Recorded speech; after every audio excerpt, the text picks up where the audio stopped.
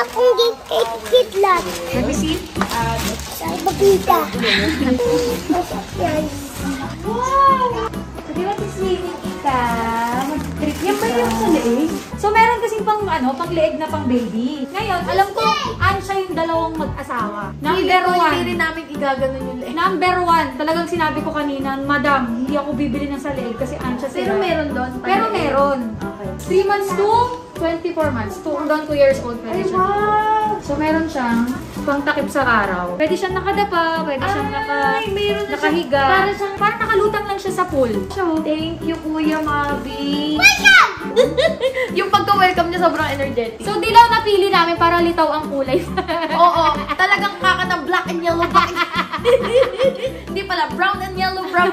Grabe, thank you, Tita Bien. Say hi, ah. Say hi ka na, oh. Kasi Thank you, Kuya Mavi. Naisip ko talaga i-regalo to dahil gusto ko akong pinaka-favorite dita. Alam pag narinig yan ni Pat, sinasabi ko sa'yo. Lahat, bahala ka na. Lahat ng nanay na bilhin niya na lahat ng gamit ni Kate, ito ang wala. Ako hindi ko alam na may ganito. Kanina ko lang din nakita sa baby fair. Alright! Thank you, sis. Thank you so much. Pwede na ako mag-anak ng mag-anak kasi may mga sumasagot ng mga ganyan na. So guys, abangan nyo pag nagamit na to ni Kidlat. My God, papadyak-padyak ng ganyan yung paa. Balita ko magwapuntong natulo. Ano? 3 hanggang 7. Pwede na mamulat ka kay nurse. Hindi ako anong pinaproblema nito. Talagang tulog lang yan. Ngayon yan, gising, madaling araw. At bumabawi ng dede, dede ng dede. Yun, pantakot sa ano, excited pag naman ito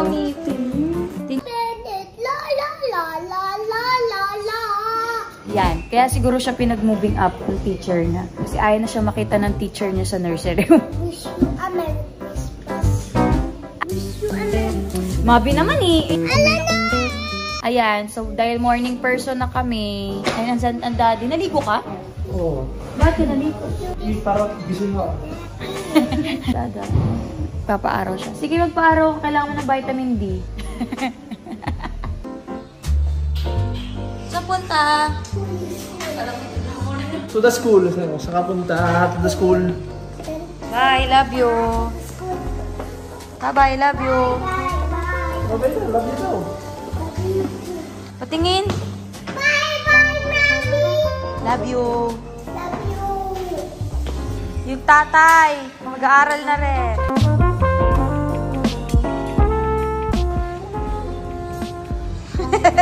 Morning person na rin. Bye! Kuya Kakon, wala magawa yung tatay. Buntis na. Bye-bye. Love you.